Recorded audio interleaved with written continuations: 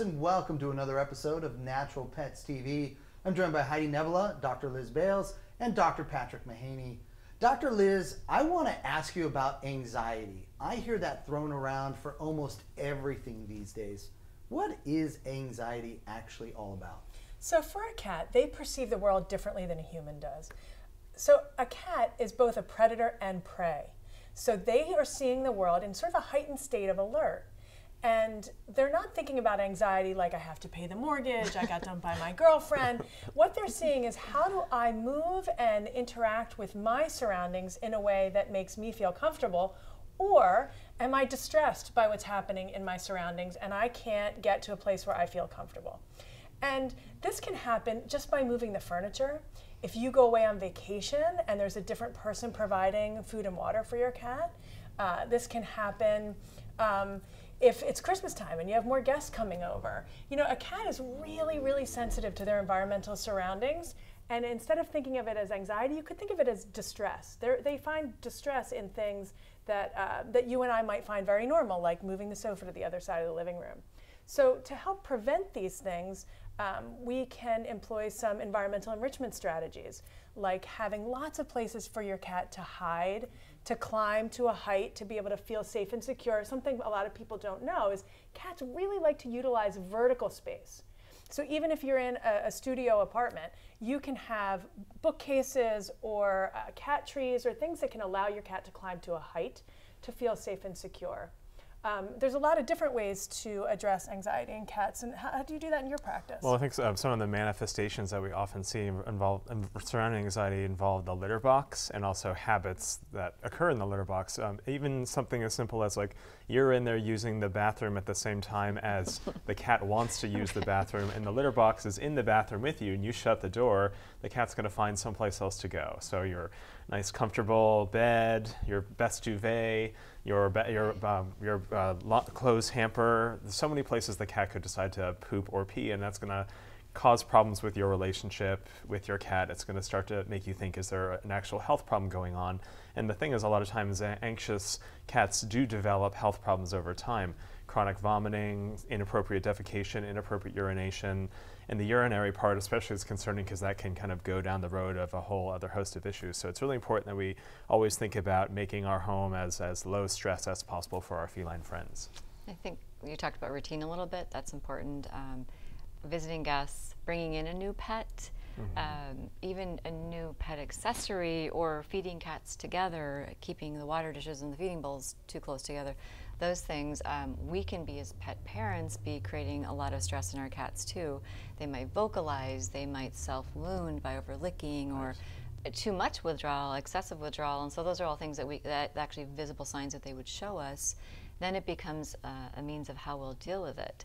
Uh, and and in terms of, of the discussions that I have with pet parents who are calling, um, if they let's say they want to do something natural and there's all sorts of you know in, in terms of addressing cat anxiety there's you know things to wrap them with. There's um, other medications. We have uh, uh, herbal mixes. Sometimes standalone like valerian root extract is, is pretty well tolerated by cats and it's generally recognized as safe.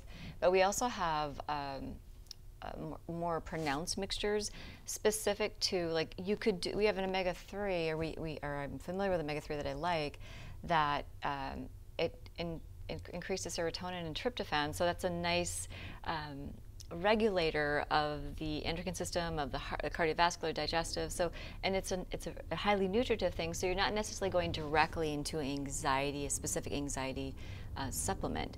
Um, another one I like to use, like learn what we mentioned, these are probably very common and most people in the audience will know.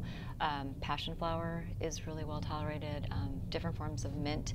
And then you get a little more, bit more uh, specialized, like there, there's a plant called mulungu that is specific to the single GABA stress receptor in the brain. So you could even, if you know, depending on, on the length and the extent of anxiety your cats are experiencing, there's a lot of natural options that you could employ employ to try to bring that threshold down and find out what the real problem is, and giving giving the cat problem solving tools so they can work through that anxiety and get toward um, behavior they're comfortable with or the environment they're comfortable with. You talk about problem solving. Sometimes a cat just needs something to do with their mental mm-hmm. time. You know, we, we have an environment where we really ask nothing of the cat, and there's no way for them to really engage with their environment. So, a couple of ways that we can take their mind off their worries, if you will, and give them something positive to do is mm-hmm. active play. Mm-hmm. Even five minutes a day, play with your cat with a wand toy, with a ball, whatever your cat finds uh, the most desirable. A total of 15 minutes per day may be broken up into three segments, might be easier for people to achieve, but something to do to keep your cat engaged. In addition, we know cats are solitary hunters, so you brought up the fact that feeding uh, from a bowl in, in a, in, a, group situation, if you have a multi cat household, can be really stressful. So, providing multiple feeding stations for a cat, mm-hmm. and better yet, giving them the opportunity to hunt and go around the house and spend their mental time really engaged with the environment, trying to find their food source, interact with it, and eat, as opposed to just having that stationary bowl. You talked about about litter box. I think um, multi-cat households are really interesting and can be very complicated when it comes to to the litter box. How do you recommend that um, multi-cat families manage having a, enough litter boxes in enough different spots? right. It can be really challenging. At least one litter box per cat per household. Um, the more the better, really. I think you can always find a place that you can put one. I mean, you might have to compromise your aesthetic and have a, another litter box someplace, but there are also lots of nice litter boxes. You could even do something custom made if you wanted, just to give your, your cat that opportunity. And having different types, some that are covered, some that are uncovered.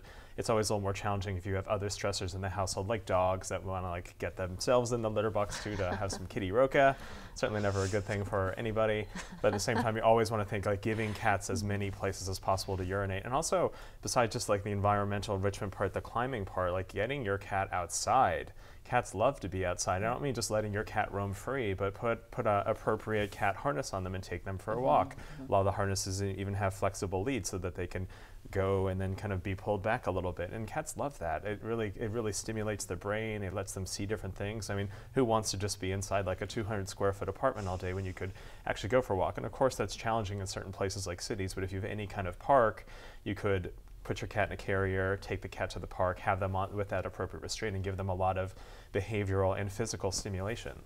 So I think uh, uh, the takeaway is to provide both the stimulation and the resting places mm-hmm. to keep your cat safe and comfortable. And if that's not doing it, then intervention with herbs or medicine might be where you need to head. And anxious behaviors too. They can they can occur any time in life. They often occur in adult and geriatric cats, and especially with that adult and geriatric cat getting a proper medical workup. Because I've seen many times like, oh, my cat's chronically vocalizing. They're starting to in- urinate inappropriately. They're not acting quite themselves, and maybe the cat is mature and developing feline hyperthyroidism, yeah. and then you actually have a medical problem that's creating the anxious state. So it's really important that you work closely and have a good open communication with your veterinarian to figure out what is going on and are we fully addressing the problem. And, and addition, addition to your veterinarian, your veterinarian might do that workup and find that there's a physical problem, mm-hmm. or if it's if it's not a physical problem, they might recommend some more intervention with a uh, veterinary behaviorist. Absolutely, um, there are veterinarians that specialize just in behavior. One can be found through your vet's referral or online and it's a very long process not long like weeks and months but it's like a two hour appointment where they go through all aspects of the cat's mm lifestyle and feeding and health. And it's even better if that veterinarian, the specialist, can come to the home and see things themselves. And it's a great learning process for, for the pet parent to understand just how their life and their surroundings really impacts that cat. Absolutely. A lot of great, useful information from excellent experts. Thank you for joining us here on Natural Pets TV. Hey folks, thanks for joining us here on Natural Pets TV. So many great topics, so many wonderful experts, but we want to keep the conversation going in the comment section down below.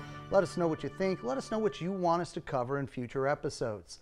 And if you want more information, you can always reach out to us at petworldinsider.com or for more information from our guest, you can get that at for Heidi Nevala, Natura Pets with a Z.com, for Dr. Liz Bales, nobowlcat.com, and for Dr. Patrick Mahaney, patrickmahaney.com.